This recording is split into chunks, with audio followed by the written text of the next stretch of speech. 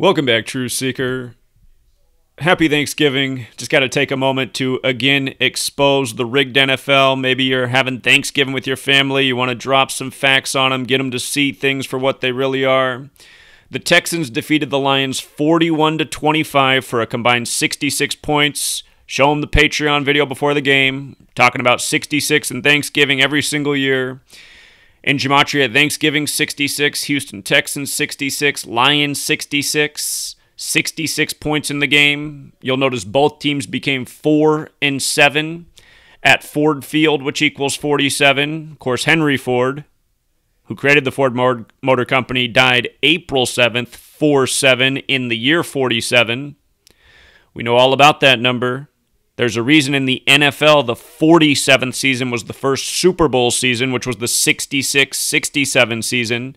And the Dallas Cowboys have been hosting Thanksgiving games since 1966.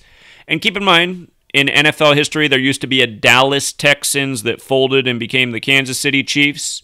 Now we have the Houston Texans and the Dallas Cowboys.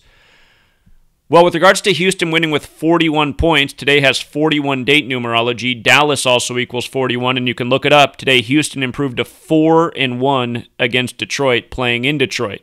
4 and 1 on the 41 date numerology, scoring 41 points before Dallas hosts their game against Washington.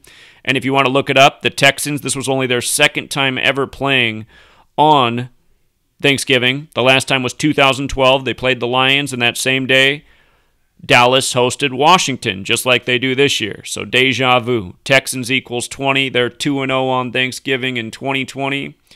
And once again, you know, you learn gematria, you can anticipate what numbers will be the scores of the games, the outcomes before they happen.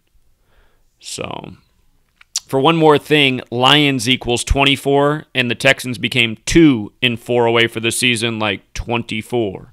They give you a 24 second highlight of J.J. Watt's scripted pick six, which Matt Stafford delivered right to his hands, up 7 nothing. And from there, there was no momentum for Detroit. It was just another sad day for the city of Detroit when it comes to their football team that always gets picked on in the rigged and scripted games. For all you Dallas diehards, be thankful for Well, actually, for all sports diehards, I meant to say Detroit diehards, but all sports diehards, you guys be thankful for Gematria. Free yourselves from these rigged games. They are a joke. Everyone should know that. Again, learn Gematria. You can see the outcomes before they happen. You can know exactly what numbers to look for. It's the same thing game after game. We've been proving it for how many years straight? How many years have I been talking about Thanksgiving in 66, doing the same thing last year?